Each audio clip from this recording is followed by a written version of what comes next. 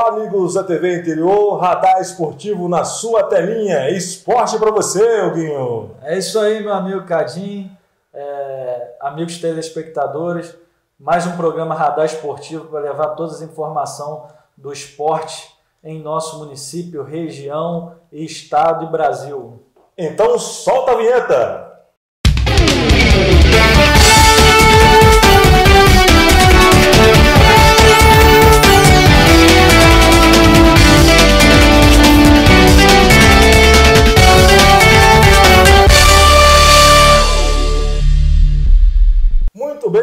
Esportivo está no ar. Eu, Hugo Carvalho, vamos trazer tudo do esporte para você aqui na telinha da TV Interior.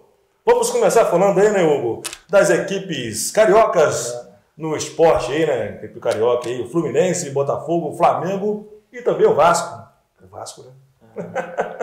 Vamos começar falando do Fluminense. O tricolor, vamos falar do tricolor aí? É, Ricardo Silva. O Fluminense que teve um jogo contra o Atlético Paranaense, né?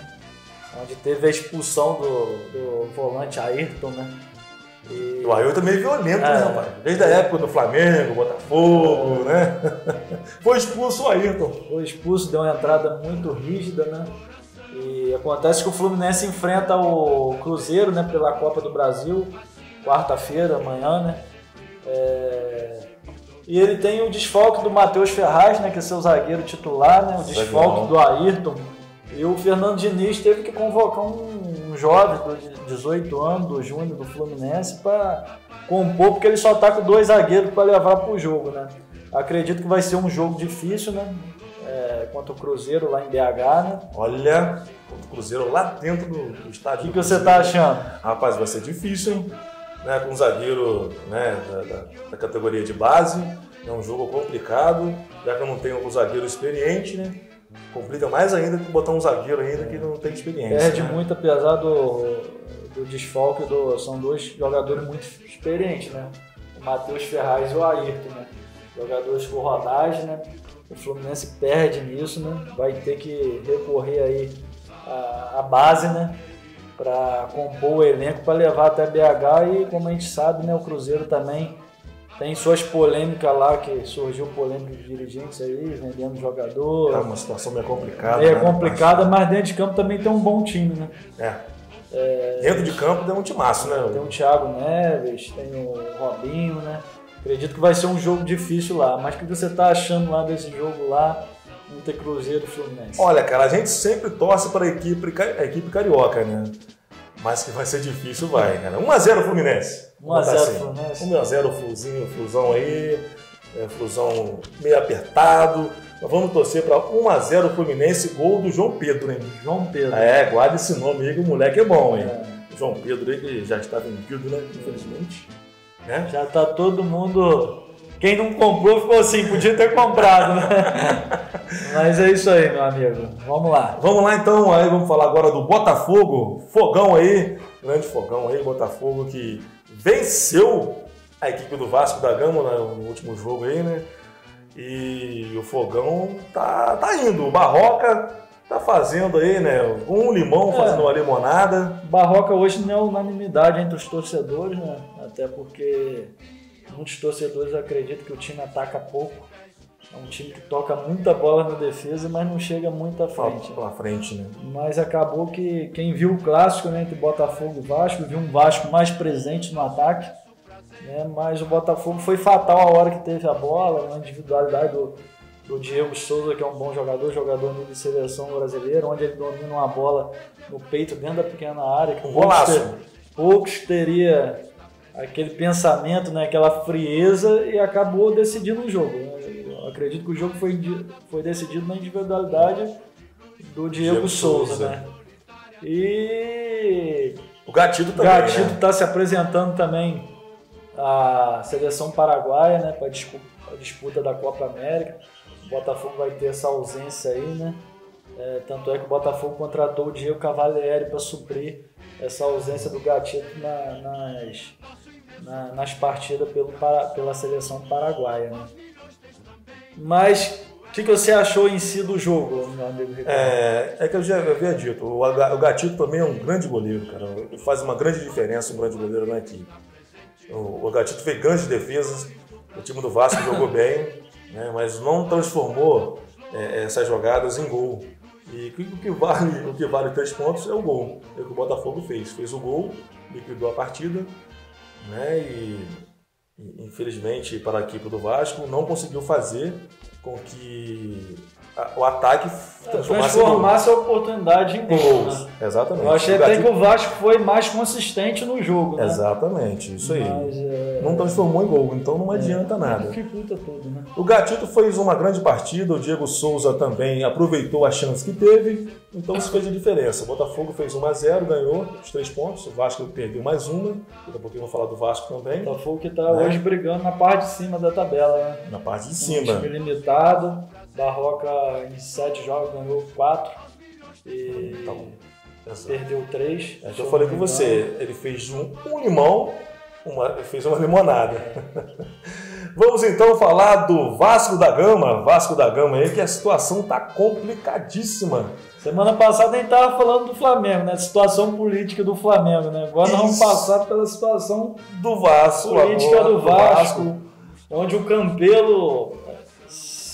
Segundo algumas pessoas ligadas ao Campelo, o Campelo vai entregar o cargo, né? É, eu não acredito vai... muito que aconteça. Será que né? vai acontecer nada, né? Ele estava acumulando, acumulando também é, funções no Vasco, é. né? É, presidente, como vice-diretor também, então acumulava funções, mas na verdade não estava fazendo praticamente nada. Acabou que o Conselho Deliberativo abriu a sindicância também contra o Campelo no Vasco. Ou seja, tá numa turbulência danada, né? O Vasco que apesar de não ter feito partidas ruins no Campeonato Brasileiro, mas hoje ocupa a última colocação do Campeonato Brasileiro, isso também, né, Ricardo? É, é gera, gera uma tensão, uma sobrecarga.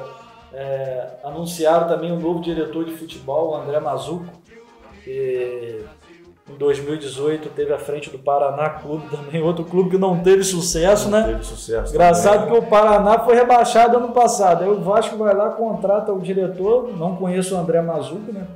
O trabalho do André, mas é, se você olhar superficialmente, né? É, o Vasco está apostando num cara também que não conseguiu fazer um trabalho não sei se bem feito, né? Não é. sei se a palavra seja essa. Não teve eficiência, eficiência no Paraná né? também, porque o Paraná, ano passado, disputou a primeira divisão, caiu pela segunda, fez uma campanha, vamos dizer assim, muito abaixo do esperado. É, Acho que foi um dos primeiros times a ser rebaixado no Campeonato Brasileiro. Mas o que você acha dessa mudança? Olha, olha, eu vou falar um negócio com você, cara. O Vasco continua uma bagunça.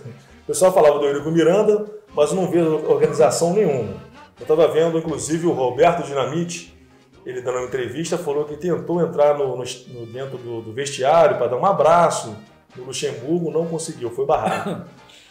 foi barrado o, o, o, Roberto Dinamite, que reclamou, falou que já foi presidente do Vasco, ex-jogador, então deveria ter um, um pouquinho mais de, de, de vou dizer, de respeito, respeito né? né? Respeito. É um cara que, querendo ou não, é ídolo, né? Exatamente é ídolo. Então ele falou que não, foi barrado, não conseguiu entrar no vestiário. Então conseguiu, continua uma bagunça imensa no Vasco. Vamos ver o que eu até, Eu tenho, tenho minha opinião sobre ídolo. Às vezes interferir em uma política do clube, ou ser treinador do clube. Eu acho que o ídolo é ídolo, ele tem que se colocar no lugar dele. O Zico já tentou isso no Flamengo, o Roberto tentou isso no Vasco. Eu acho que assim, não, não deve, o cara é né, ídolo, não deve misturar muitas coisas, porque acaba aquilo ali desgastando uma relação. Você imagina hoje o Flamengo com o Zico treinador.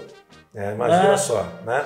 É, essa turbulência é... toda, se não ganhar um título, a culpa é sempre do cara. E o cara tem um cantinho dele, que ele é ídolo. Isso aí ninguém vai pagar, mas acaba tendo um desgaste também, eu acho que desnecessário, é, né? É, exatamente. Mas enfim, o Vasco tá essa situação complicada do Vasco aí. Esperamos que o Vasco consiga sair da situação que, que se encontra agora né, no Campeonato Brasileiro. O Vasco não é um time ruim, não tem um treinador ruim, então tem tudo para sair da situação. Vamos torcer para que o Vasco que se encontre o caminho da vitória. Com certeza. E agora vamos falar do Flamengo. Flamengo aí.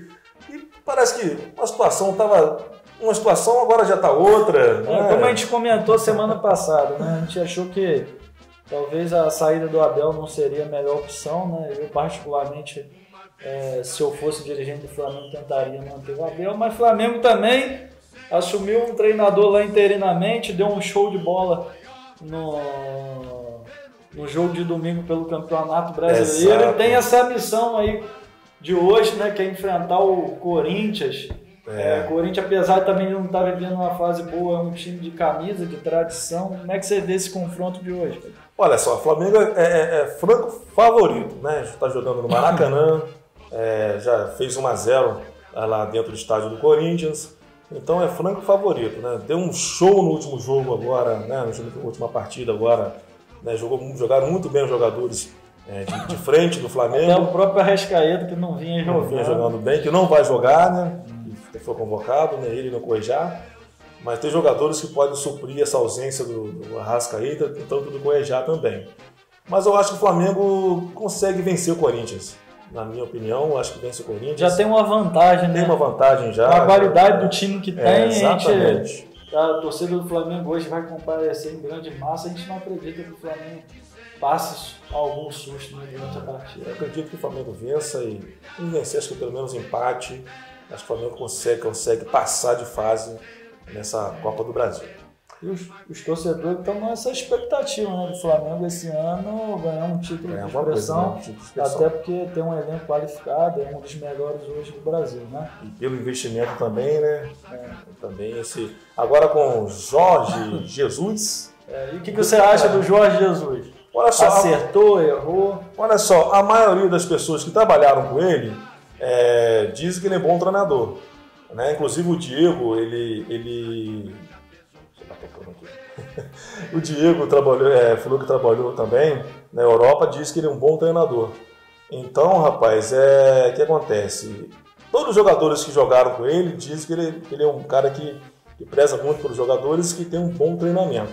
Então, vamos ver o que vai dar Vamos torcer que dê Torcer, certo, né? Vamos torcer, Vamos né? torcer para os quatro grandes representar o nosso estado bem representado, né? Isso. Acho que quando a gente perde algum time de elite aí, Flamengo, Vasco, Botafogo, na segunda divisão a gente enfraquece o futebol do nosso estado. Nosso Isso estado. não é interessante para ninguém, a gente tem que estar sempre, como você falou, torcendo por os times do Rio, né? Para que possa representar bem o nosso estado aí. Nosso diretor está falando para gente no intervalo, hein? Vamos pro intervalo, senão nós vamos apanhar aqui. Intervalo, então já já estamos de volta com o Radar Esportivo.